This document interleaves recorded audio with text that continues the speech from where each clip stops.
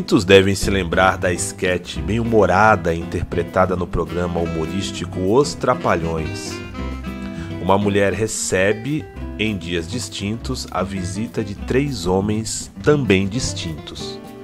O primeiro homem nada nega a ela, apenas para agradá-la.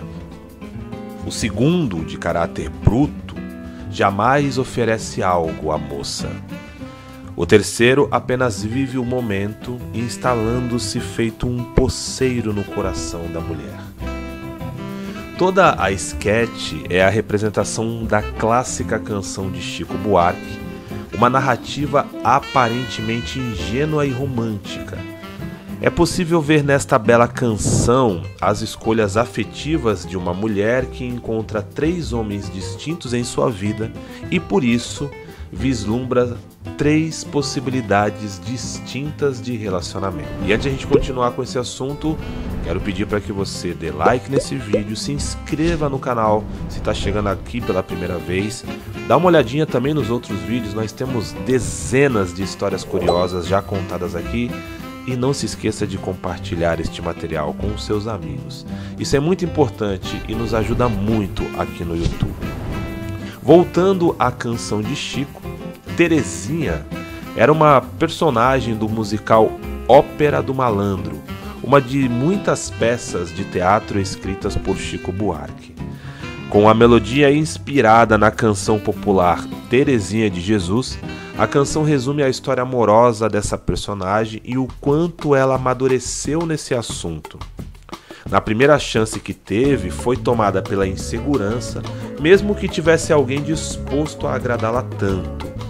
Na segunda chance, ela vive um relacionamento ruim, toma a decisão de não vivê-lo mais e, embora machucada, entende aquilo como uma experiência e não se fecha para uma eventual terceira chance, onde ela estaria mais madura. E essa terceira chance de fato acontece. A canção, portanto, retrata os estágios das escolhas da mulher e a sua evolução nos sentimentos e na escolha de um parceiro. Mas a letra também tem relação com a costumeira crítica que Chico fazia aos anos de chumbo.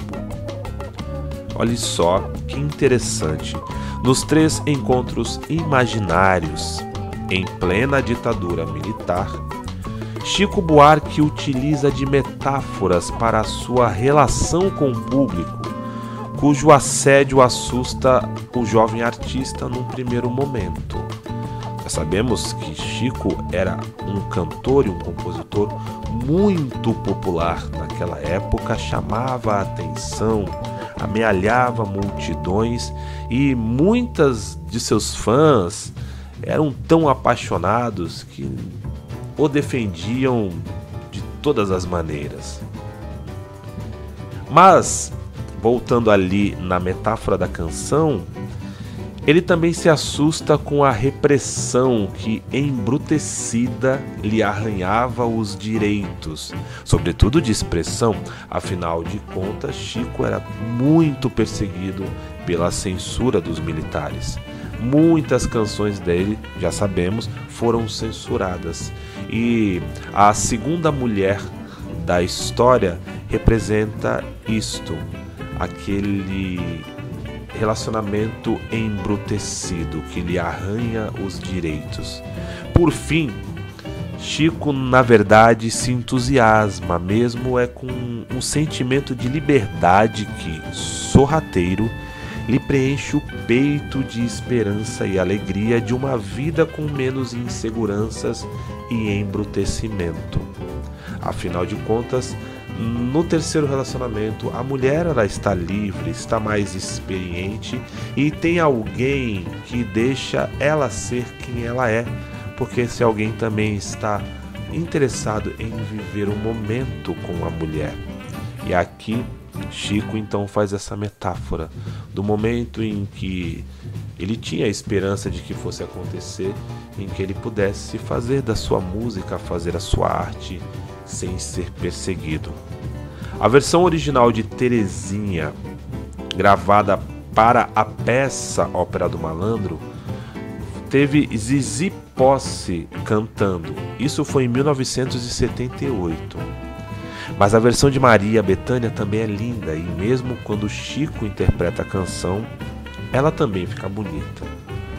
Terezinha, ouça a canção pelos links que estarão na descrição do vídeo, bem também como a sketch do programa Os Trapalhões.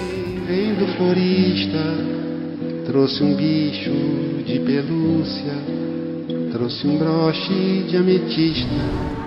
Me contou suas viagens e as vantagens que ele tinha. Me mostrou o seu relógio, me chamava de rainha. Me encontrou